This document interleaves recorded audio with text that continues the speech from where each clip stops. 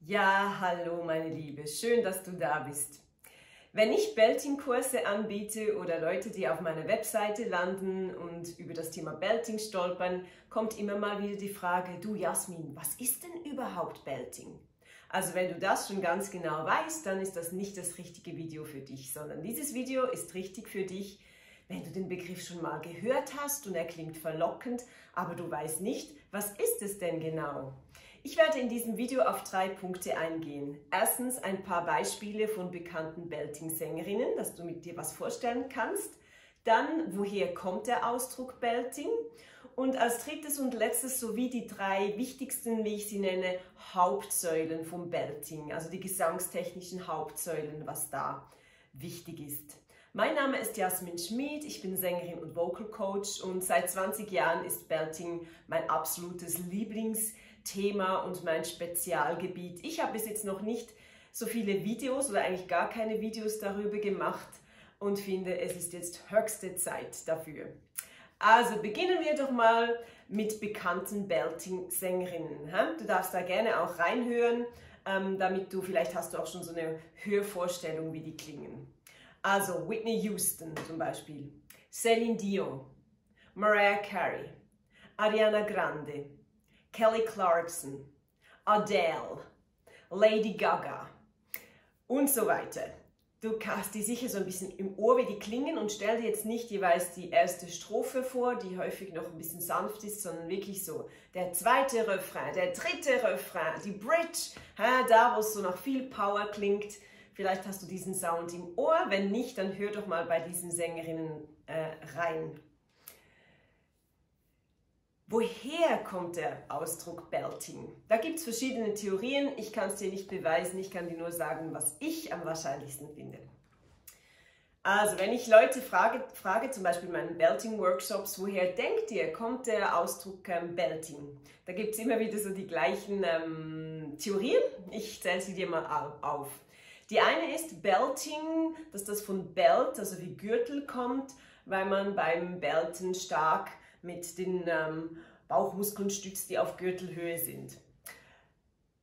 Ich kann es dir nicht beweisen, dass es nicht so ist, aber ich glaube nicht, dass Belting daher kommt. Dann immer wieder sehr kreativ. Belting kommt wie von Bell, also Glocke. Das hat auf Englisch zwei Ls. Weshalb die Leute darauf kommen, ist, weil Belting einen sehr metallischen Klang hat und deshalb diese Assoziation mit der Glocke. Aber es wäre ein bisschen komisch, Bell, wie gesagt, hat zwei L und dass dann Belting nur noch ein L hat, glaube ich auch nicht. Ich glaube, ähm, das ist für mich die wahrscheinlichste Theorie. Es gibt im Amerikanischen gibt's einen Slang-Ausdruck und der heißt to belt out. Und to belt out heißt losschmettern. Und ich glaube, daher kommt es, weil Belting hat auch wirklich dieses eben schmetternde, metallische. Also das ist meine wahrscheinlichste Erklärung. To belt out heißt losschmettern und daher kommt der Ausdruck Belting. Falls du noch eine andere Theorie gehört hast, schreib sie mir unten in die Kommentare. Doch jetzt, last but not, not least, ganz wichtig, ähm, wie baut denn Belting überhaupt auf, gesangstechnisch? Und ich gebe dir da einfach eine kurze äh, Übersicht. Ich nenne das immer die drei Hauptsäulen. Hauptsäule Nummer eins sind unsere Emotionen, unsere Körperspannung. Und was ich damit meine ist, dein erster Ton, als du auf die Welt gekommen bist und geschrien hast, das war ein Belting-Ton. Also selbst wenn du nicht weißt, was Belting ist, du hast bereits gebeltet. Sicher als Baby. Weshalb? Ähm, als Baby hast du diese starke Emotion, beispielsweise wenn du Hunger hast, wenn du die Windeln voll hast und ähm, du hast ähm, ein Bedürfnis, das du ausdrücken möchtest, Kommunikation. Und das machst du völlig ungefiltert mit ganz viel Emotion, ganz viel Körperspannung und auch mit, mit dem Gesicht. Und dann kommt dieser intensive Ton raus. Also das heißt, eine wichtige Voraussetzung für Belting ist wirklich Emotion, Kommunikation, Körperspannung, Gesichtsspannung. Es ist etwas sehr Expressives. Braucht man auch in einem Song nur, wenn man expressive Stellen ausdrücken möchte. Die zweite Hauptsäule ist das Thema Register. Register ist der Überbegriff für Bruststimme und Kopfstimme. Und ähm, dazu mache ich sicher mal ein separates Video, weil es da ziemlich viele äh, verwirrende Meinungen dazu gibt. Ähm, Belting ist Bruststimmdominant. Hm? Das heißt, ähm, Brust, der Bruststimmanteil überwiegt in deiner Mischung. Was Belting nicht ist, ist, wenn du einfach deine volle Bruststimme raufdrückst bis irgendwo. Hm, das wäre ein schlechtes Beispiel von Belting. Wie gesagt, beim Belten dominiert die bruststimmlastige Mischung, ähm, aber es ist eine Mischung, die auch Kopfstimmanteil drin hat. Hm. Also vereinfacht gesagt könnte man sagen, Belting ist Singen in der Bruststimme, aber das ist dann sehr vereinfacht und ein bisschen gefährlich, wenn du das so interpretierst als äh, zu Achtung, fertig, los, ich quetsch und drück irgendwie meine Bruststimme rauf. Also es geht sehr ähm, häufig darum, so wie die richtige Mischung zu finden, ne? wie viel, wie wenig. Und der dritte und letzte Punkt, das sind so ähm, resonanztechnische Phänomene, damit es eben diesen schmetternden, intensiven Klang äh, kriegt.